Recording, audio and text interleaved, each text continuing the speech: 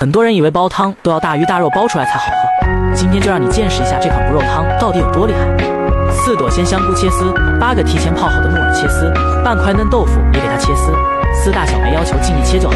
一个番茄切丝备用。小碗里加一勺生抽，一勺香醋、别糖、精盐、鸡精、胡椒粉，搅拌均匀备用。两勺淀粉，小半碗水，调个水淀粉。碗中打入一二三三个土鸡蛋。用力搅匀打散，锅中水开，放入姜丝、香菇、木耳丝煮开后，放入豆腐丝煮个两分钟，再放入番茄丝煮个三分钟。根据喜欢的粘稠度，少量多次加水淀粉。大火烧开后，均匀的淋入鸡蛋液，倒入刚才调好的料汁，撒上香菜和迷人小葱花，最后来一勺紫苏油。